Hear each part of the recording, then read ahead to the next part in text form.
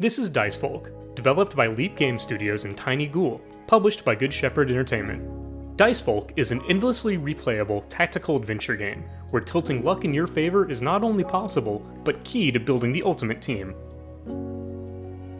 Dicefolk combines the careful strategy of RPG party building with the exciting run breaking min maxing of a roguelike. Each Dicefolk session begins at the Talisman selection screen, where players decide which style to adopt for the run. Talisman choice affects which Chimera players will attract to their team, the dice loadout they start with, and the tactics at their disposal. The Warrior Talisman is unlocked from the very start, focused on Chimera with high raw attack power. This is a great talisman to showcase here. The damage output potential is huge without us having to get into overly complex strategies. Let's select the Warrior Talisman and set off on our adventure.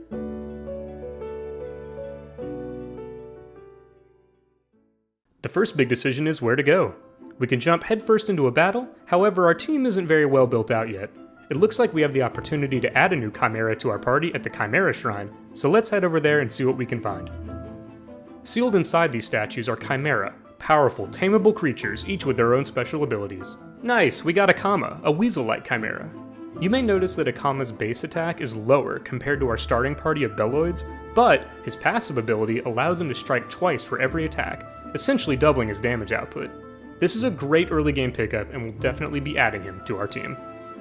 Here we have three statues to choose from. Since we can only free one Chimera per biome, let's go ahead and pick the middle one. As we progress through our run, we'll gather more Chimera, building the ultimate team on our way to confront the evil, Chimera enslaving Salem. With Akama leading the party, let's get into our first fight.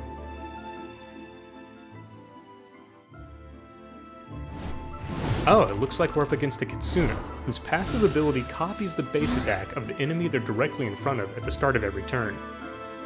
Hopefully this doesn't cause any issues for us later down the line. Of course, we're going to open things up with an attack, which, thanks to Akama's passive, lands twice. But as you might have noticed, our battle options are a bit different from other games. In Dicefolk, dice rolls determine everything that happens in battle. Your moves and your opponent's moves are all up to chance, but your competitive edge is that you as the player decide the order in which everyone's moves execute. Drop a guard before forcing an opponent to attack, and you won't take any damage. Or use one of your opponent's reposition rolls to bring forth a weak enemy and pick off their back line. Turns will end when every enemy move has been made, so think wisely and plan ahead. Strategy is key to victory in Dicefolk.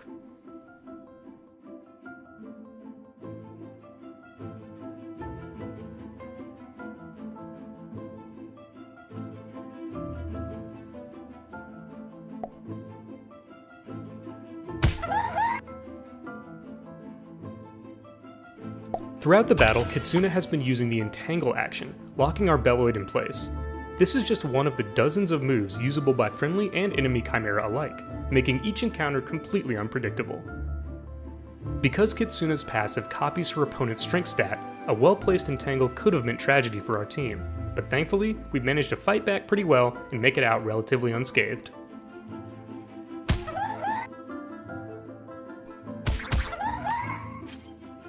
Thanks to our clever strategies, we've won our first encounter in Dicefolk. Time to collect our rewards and see what awaits us next. The more battles you win, the more the world opens up around you, bringing with it new possibilities to construct the ultimate Chimera team. Helpful locations around the map provide opportunities to strengthen your rolls by stacking dice in your favor,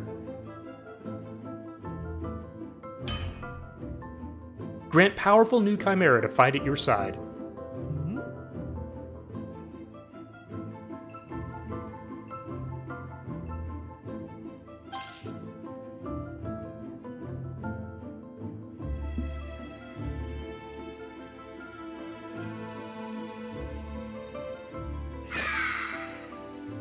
And if you get extra lucky, you may come across game-changing pieces of equipment which can boost your entire team.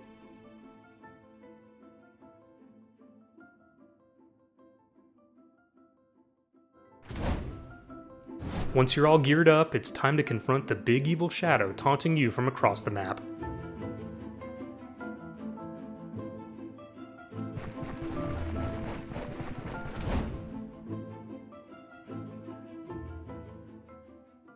Dicefolk's boss battles are the true test of not only your team's stats, but your strategic insight as their leader.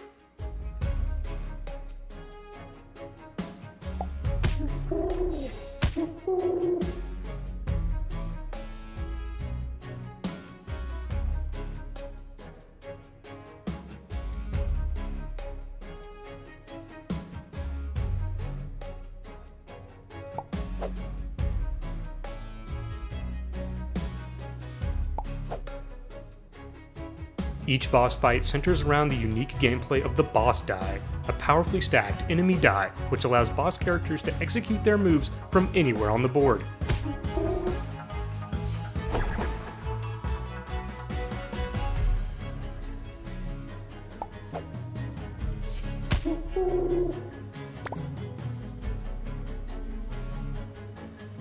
The possibilities introduced by the boss die completely turn encounters on their head, Players will need to approach these fights with caution if they hope to make it out alive. Make sure you're executing your turn as efficiently as possible.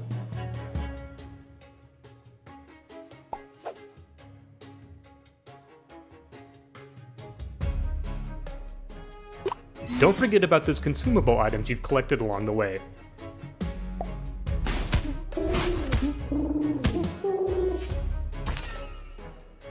This will be your hardest fight by a long shot.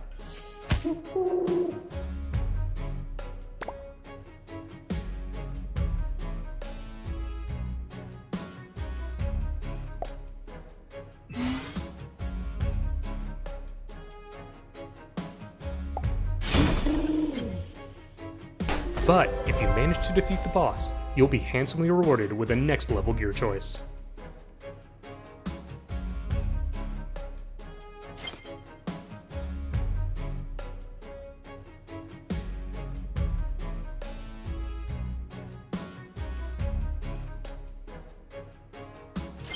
Plan your decision around which upgrade would work best with your team synergies, and you'll have a leg up against the biome that waits just around the corner. Each session of Dicefolk will include chances to encounter new friendly and enemy chimera, partake in intense battles, and develop run-shattering builds that will take you even further than the last time.